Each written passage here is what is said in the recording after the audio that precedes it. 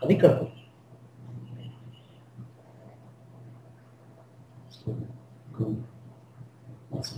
Can you hear us? Do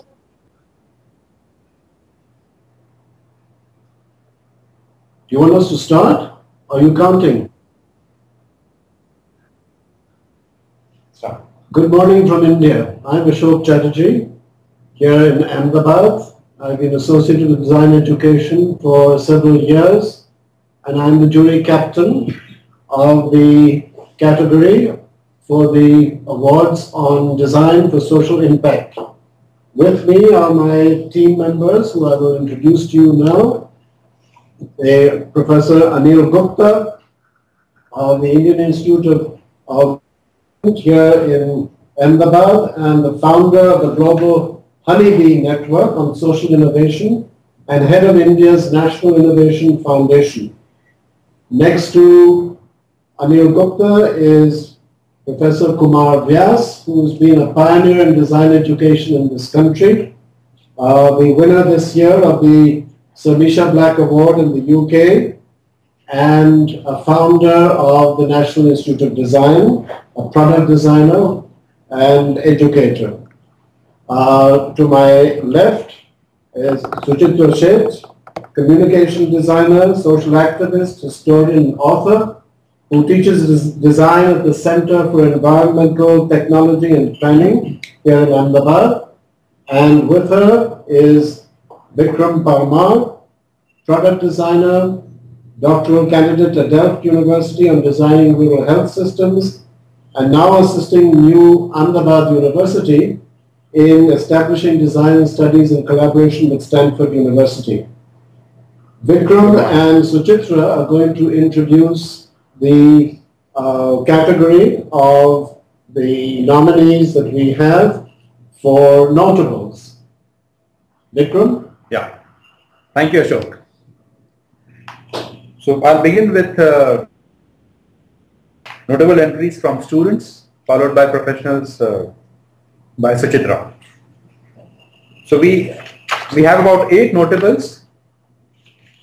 So notable one is the project called Common Sense, an art exhibit about the American dream by Carl Lewis and Craig Stover. Notable two project is One Down by Philip Vahe. Notable three is Lien by Jupon Wang. Notable four is Made in the Dark by John Fraser, Ruby Steele, Hal Watts, Khushbu Dublish and D. Topo. The next four notables in the student category are Thrive Potionware by Sally Nee, Pure Water Bottle by Timothy Whitehead, U-Haul Emergency Response Conversion Kit by Peng Tao Yu, and the last one, the Spark Project by Arash Shirinpar. In the professional category, there were three notables. The first one is Safe Agua by Design Matters and the Art Center College of Design. The second one is Chilote House Shows Shoes by Stephen Kerestigian. I'm we're sorry if some of these names are mispronounced. We're doing our best. These are somewhat unfamiliar to us. Uh, this project was done in co-creation with artisan women in the Patagonia. And the third in the professional category, the notables, uh, according to us, was Design for America by Design for America, uh, which was done for the McCormick School of Engineering and Segal Design Institute in Northwestern University. Would you like to give us your Right. comments on this experience? The notables? It was hard to decide on uh, um, many of the entries because all of them were so diverse uh, and uh, local cultural needs and um, um, it, we tried to um,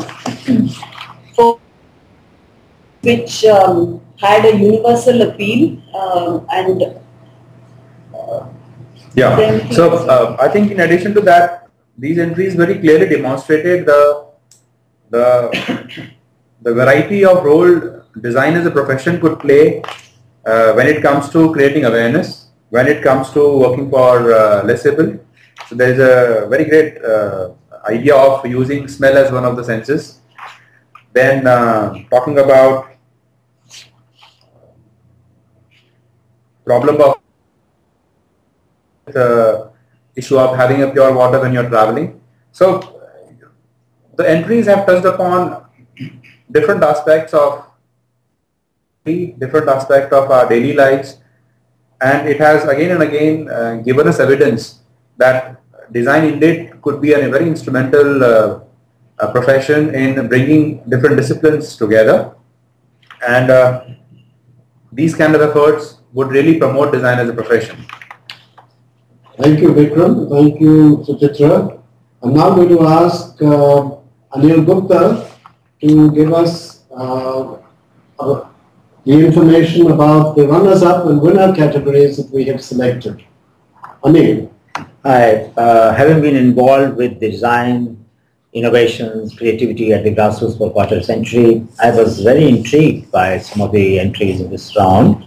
The first runner-up for this uh, competition is a hug, the painless vaccination by George Ressler, it's a kind of a patch which makes the task for the children but particularly very comforting.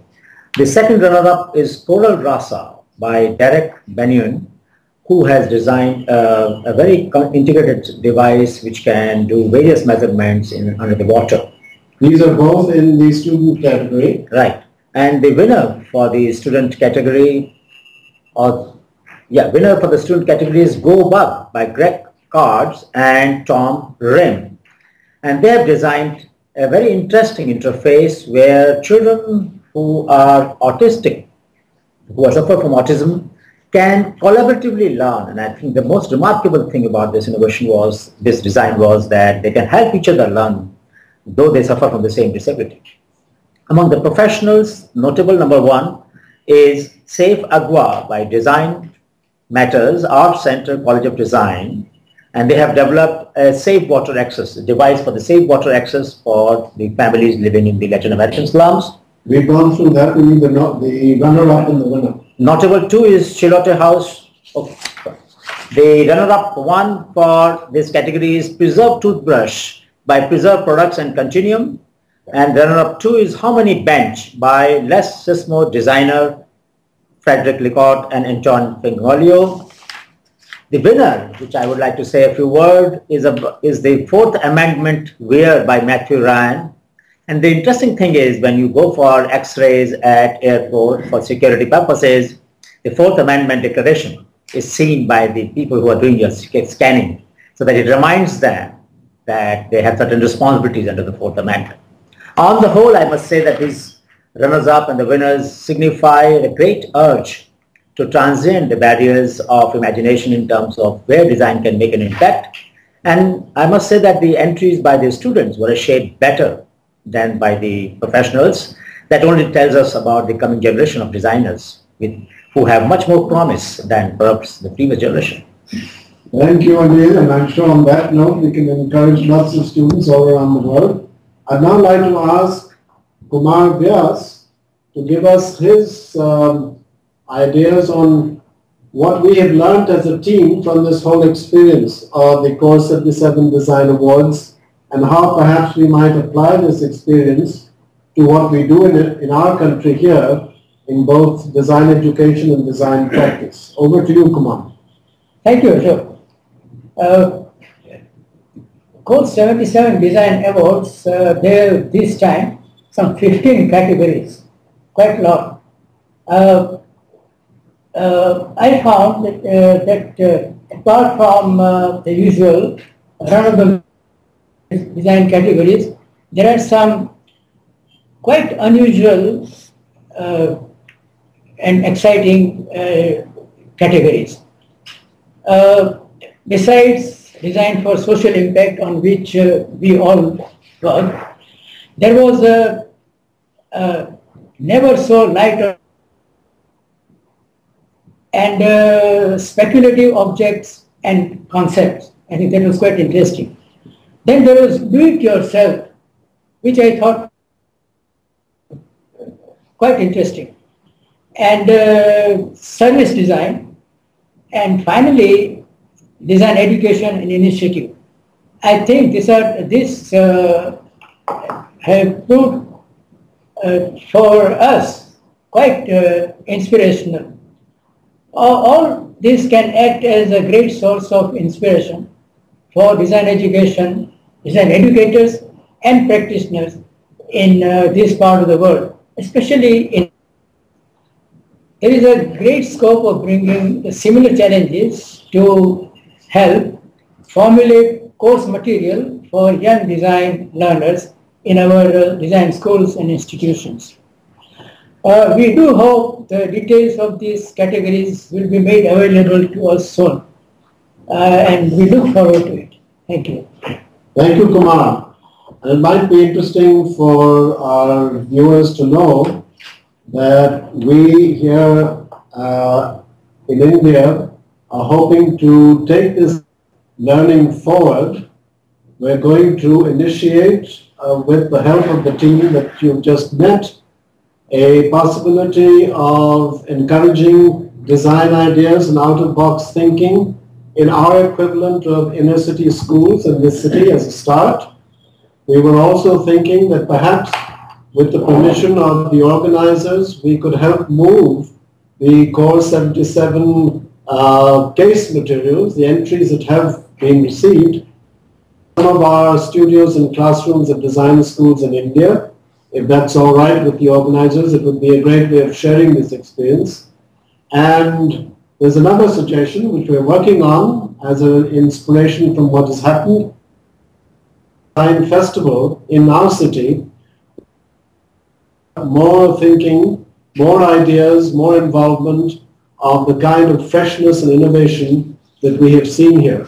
So before we wind up, I'm going to ask my colleagues whether they would like to add a word to what has been already said. Vikram, can we start with you?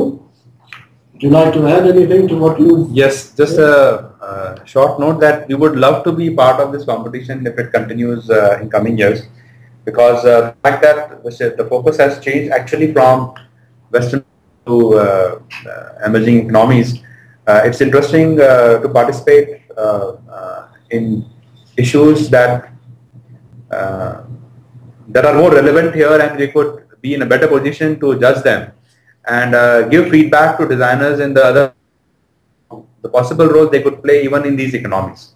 So again, uh, thank you uh, for uh, inviting us for participating in this uh, competition. Thanks. Suchitra, any word to add? Yeah, I thought perhaps that design for social impact was a bit of a misnomer because all design has social impact. Mm. And um, and it also sounds way, way too serious um, in, in its um, uh, in its phrasing. But surprisingly, the entries were playful and um, light-hearted, yet engaging with social and cultural issues, and that was very rewarding to see from different parts of the world. So Thank that you, was something about. Thank you. Kumar, would you like to add anything to what you've said? Uh, well, I would uh, personally uh, would like to get uh, involved uh, in uh, promoting some of these outcomes in our design schools and design institutions. Maybe starting with an institution like National Institute of Design at, in Ahmedabad. Good, that'd be wonderful. Anil, last word from you. And I would say that why restrict it to only the designers which are who are formally trained? Why not bring in designs by self-trained, self-educated people who may not be literate very much, but who have ideas? And uh, Honeybee Network would be very keen where students and designers can work on ideas of common people. Right. So that's uh, what I look forward to, and maybe a roving uh, of all the entries uh, that have made to the final jury. Thank you. I think that's an interesting idea because the Honeybee network in itself is a global network and I think then we would be bringing the Core77 uh, effort within another global network which would be mutually strengthening to both. Well, on behalf of all of us in the jury for the Design for Social Impact category. Thank you for this opportunity. Thank you to all of those who submitted entries in this category, You've given us a lot of food for thought, and we've been delighted to go through your entries. Thank you for tuning in, and goodbye from Ahmedabad, from all of us here. Thanks once again. Goodbye.